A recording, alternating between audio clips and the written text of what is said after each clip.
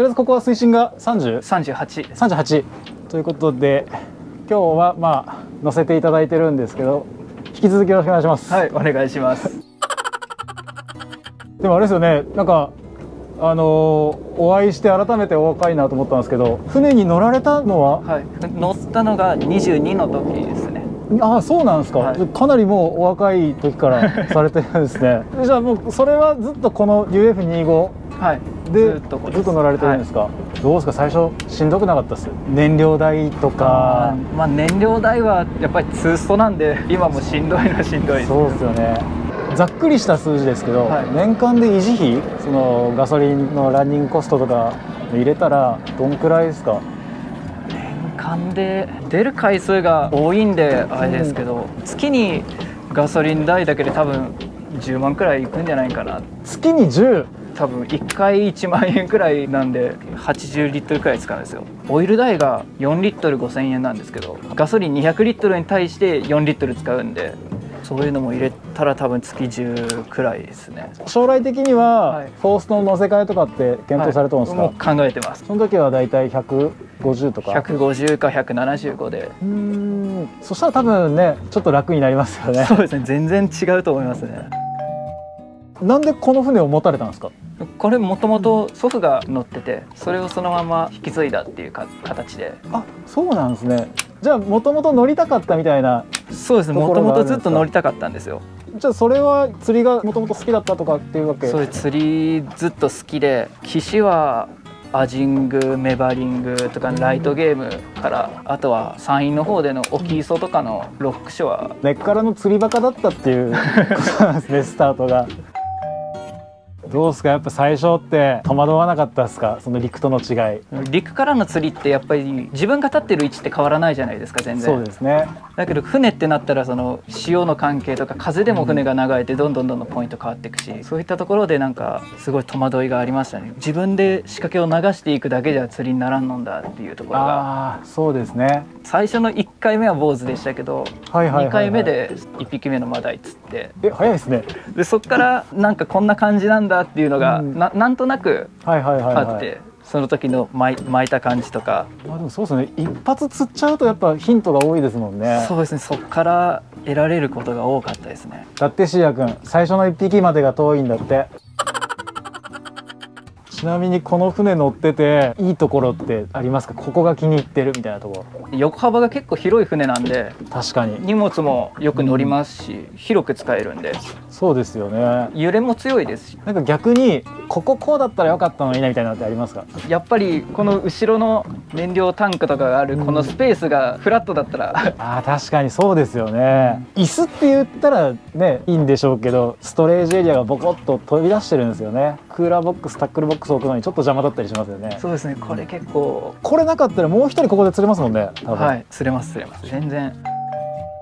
でもこうやって収録してるこのタイミングでね魚かかってくれるのが一番いいですけどね。意外と YouTube あるあるであのカメラ止めたらかかるっていう。ね、あそうなんですか。多いよね。多いですね。なんか本当止めた瞬間かかったりとかねよくするんですよ。すごいな えかけたんですか？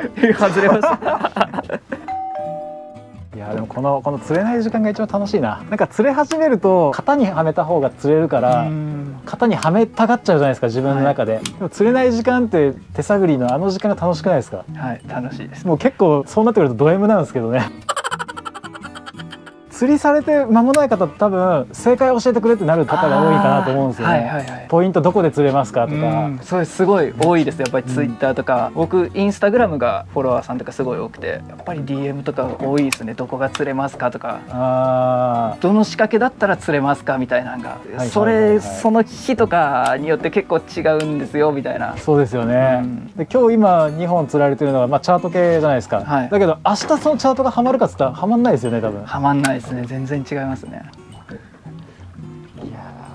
あああ違うな。多分違うな。なんか本当にここでハンドルを0.5回転したいんだけどでももうスロットルの方行かないとみたいなのありますよね、ありますあります。なんか次はこの船買おうかなみたいなのありますか？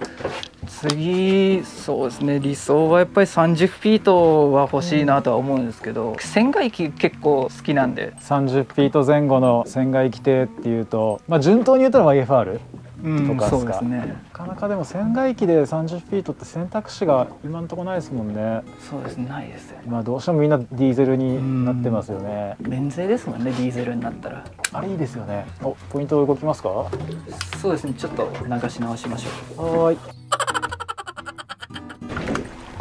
さあ 60m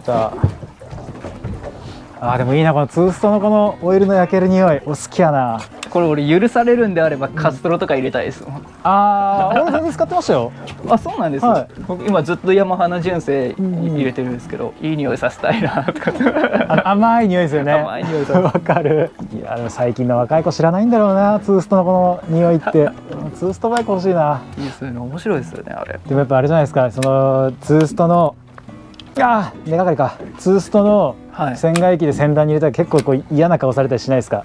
めっちゃされます。大注目です。確かに。なんかでも昔ってこれが普通やったんですけどね。僕小さい頃もううん小さい頃からずっとこれで最初フォーストの船外機の存在自体知らずにずっと乗ってて、で同じ港の方とか帰ってきた時にエンジンかかっとんって。船外機でフォーストなんかが出てきたのって2000年ぐらいじゃないですか多分。10円玉ばらまいてる感じですよねこれそうですね。いやもうでも175くらいになったら50円玉くらいですね。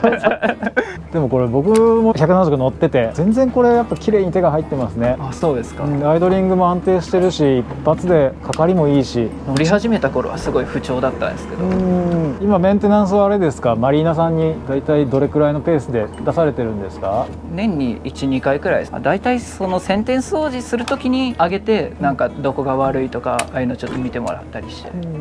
いやでもこの月に10っていうペースで乗られよったらもうポストにしたらすぐ元取りますね。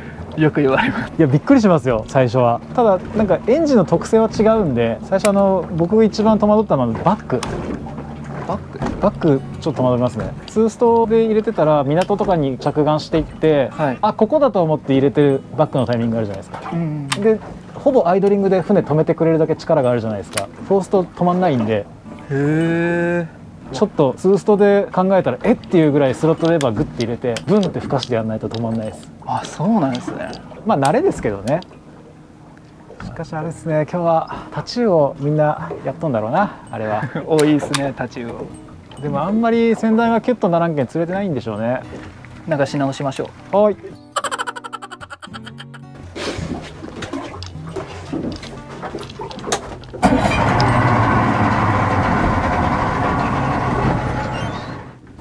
あれ船のトラブルって普通じゃ考えれんぐらい焦りますよね。焦りますね本当に。車がエンストしたとかだったらあエンストねぐらいしか思わないですけど。うん船がエンストしたらかなり焦りますよね。そうです。ねなんなんなんでしょうなんかやっぱり海の上ってそれだけ。怖いですね。怖いですね。楽しいですけど怖いですよね。わかります。え過去そのか経験されたトラブルってはい。さっきのそのギアが入んなくなったとか他なんかあったりします？今のところそのギアが入らなくなったくらい本当瀬戸内海から周りに島めちゃくちゃあるんでそんな焦らなくても安心だろうって言われるっすけど怖いもんは怖いですよね。怖い。島はたくさんありますけどやっぱりその分潮の流れも速いですし。でも船乗っててあ良かったなってあります？好きな時間にうん。まず出れるっていうのが大きいですよねやっぱり遊漁船とかだとその事前に予約してとかになって。そうですよね。思い立ったその瞬間に出れるのはいいとこですよね。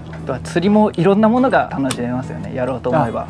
で今目の前ですごいタチウオ船だなとって。やろうと思ったら行っていいですもんね。はい。これが遊漁船だったらやりたくても今日は平ら場の日ですみたいなね、うんそれこそ帰りに今の時期やったらアオリイカちょっと釣って帰ろうとかもできますし。ああそうですよね。自由ですよね。自由ですね。うん。レンタルっていう手も確かにあるんですけどでも時間の制約まで言ったらやっぱ持ち舟になっちゃうはい感じですよね、レンタルだとどうしてもやっぱり少人数で出たらちょっと割高になってしまうじゃないですか、確かに月に3回がボーダーかなみたいな。月3回より多く出るんだったらもうマイボートの方が安いし1回しか乗らないんだったらレンタルの方が賢いと思うしっていう感じですよね。今日すげえ本当波が穏やか。本当気持ちいい。いや釣りたい。僕が釣りたいっていうよりなんかいつもカメラ持ってくれるシーヤ君の方に釣ってほしいな。いやいつもほらシーヤ君カメラ持ってくれてなかなか釣る機会が少ないけん今日こそは釣ってほしいな。タイラバは基本的に買いますか？作りますか？と僕は、うん、買いますね。ネクタイとかは市販品でただフックに関してはい。は自分でいつも作ってます、おおアシストだけじゃあ自分で、はい。海遊さんっていうメーカーがなんかラバーシートっていうのを切る前のシートをそのまま販売されててそこのシートでたまにちょっと遊んだりとか。ああもう自分で好きなように切自ってはい。なんか最近あれですよね瀬戸内だけかもしれないですけどあのどんどんどんどん波動を弱くしていった方がなんか食いがいいイメージないですか？うん。ありますね。そういう流行っていうかそういう風になってってますね。昔タイラバがまだねそんなに認知されてなかった時、まあ、まだその誘導式タイラバとかが出る全然前ですよ。とかはなんかネクタイもすごい長いしスカートもモリモリもっさもっさみたいなのが多かったですよね、はい。最近まあそ中井チューンが出てから一気にこうフィネス化したというか。変わりましたね。変わりましたね。本当スカートの量一気になくなりましたよね、うん。カーリーとかで波動はしっかり出すんだけどタイが見に来てシルエットをパッと見た時にはすごい弱いみたいなのが今多いですよね、カラーとかはなんか基準ってあるんですか？から僕は好きな色をとにかく使ったらいいと思ってて赤色が好きなんで、はい。とりあえず一番最初はだいたい赤色のネクタイから。今も赤ですもんね確か今赤ですね。すみませんね僕よようチラチラ見てるわけですね。なんかローテーションするきっかけとかってあるんですか？やっぱりまずは塩が濁ってたら暗くして、でシルエットを出してやるシルエットを出してやるっていうのがあって黒一色とかああのネクタイがすごい好きで。あゼブラとかどうですか？最近めちゃめちゃ流行ってますよねゼブラ。流行ってますね。今はもう主流になっちゃってるんで逆にゼブラじゃないのがもうちょっとしたら魚がずっと見てきたら擦れちゃうと思うんでそれまた立場が逆転すると思うんです。シーズナブルなターゲットってやっぱ変わりますか？これからだったら何をされますか？今から多分岩国沖ゲームそこでサワラ釣ったりとかもうちょっと寒くなってきたら寒ブリ狙ったりとか。ああ寒ぶりいいですね。どの辺まで行かれます？片道1時間くらいだったら、あでもそうですよね。一つちょっとボーダーですよね。片道1時間で行ける範囲。そうですね。割とよく皆さんおっしゃいますよね。はい。本当はもうちょっと走ったりしたいんですよ。柳井の方とかいろいろ行ってみたりしたいんですけど、はい。燃料の量とその消費する量。それでちょっともう行って帰ってこれるのが片道1時間。これちなみに何リッターでしたっけ？これ160リッターですね。160ちょっと心もとないですかね 多分。本当の厳冬期ぐらいになったらうん。また今度は何を狙われるんですか次は？その時期になったら次はカワハギあとかカレーとか。あとあの僕広島来て一番びっくりしたのがはい広島で萩っていうと馬面をされる方が多くてどちらですか？本萩。あえーっと僕馬面の方が多いですね。あそうなんですね。で春先また今度はマダイにサビキに帰ってくる感じですか？そうですね。平場で そこからあれですよね。ゴールデンウィークぐらいで一回のっこみが終わってそしたら次キスとか。そうですね。夏キス結構やりますキスおもろいっすよね。面白いですね。夏の時期って僕人集めにくくて今週はキス行きたいんだっつったら、キスならいいか。みたいな言う方結構多いんですよ。多いですね。おもろいっすよねやったキスって。面白いです。やったらわかります。ですよね。やったらわかります。すごいイージーなんだけどで当然船で行くからポイント直結やしでも数を伸ばそうと思ったら差が出ますよね。船を買って一番最初にするんだったら僕は春先に買ってキス釣りをやった方がいいんじゃないかなって思うぐらいいいっすよねあれ。いいですね。夏のキスとかになったらそこにヒラメがついてたりするじゃないですか、うんうん。急にゴーンって入ったと思ったらうん。ヒラメが釣れたりとか、そうですよね。だって最初船買っていろんな船の遊び方もあるんですけど一番のマジョリティというか一番大多数の方って、まあ、釣りをしたいっていう方が多いんじゃないかなと思ってて。それだったら本当にまずはキス釣りみたいな一番釣れるイージーな釣りで、ね、楽しさを覚えてそこからいろんなじゃあジギングしてみようかなとか、うん。じゃあ平場しようかなとかいいですよね。いいですね、うん。それが一番いいと思います。かかり釣りでのんびり釣ってはい。お弁当食べて帰るとかね。釣りをされない方の話とかを聞いてると、釣れない時間の待ち方がわからないとか、あうんそういう方が多いんですけど。そうですね。コメントにも入ってたんですけど釣れない時間ってどうやって過ごされてますかみたいなのあってどうされてますか？釣れない時間って釣れない時間僕はメンテナンス次こうしこうしたいああしたいとか考えたりとかあとは景色楽しんだり。見え方全然違いますもんね全然違い陸からと。ますね陸から見ると船だったらじゃあちょっと今まで見たことがない景色をどっか見に行ってみようとか、はいはいはいはい。まあ特に瀬戸内なんて島がすごいいっぱいあるから、今って海の駅がいろんなところにあるじゃないですか、うん。桟橋に止めれて、うんうんうんそこの近くを観光してまた帰ってとかもできるし、うん。もうちょっとでも僕個人的には海の駅もっと栄えてもいいんじゃないかなと思うんですけどね。今まあこの辺界隈だったら鎌狩あと呉江田島の辺りがまあ一番近いと思うんですけど。もう少しねこうワンストップ的にパッとつけて目の前コンビニでみたいなのがあっていいと思うんですけどね。今パッと行ってパッとお弁当買ってくるとか、はいちょっと餌なくなったからすぐ買ってくるわみたいなのがなかなかできないですもんね今って。できないですね。難しいですねそれやろうとしたら。儲かんないからやんないんかもしれないですけどもうちょっとあってもいいのかなって思うんですけどね。ぱりそれこそ車のコインパーキング的な止め方ができるようになったりとか。ああそうですねお祭りしちゃいました。急に あれ？って思って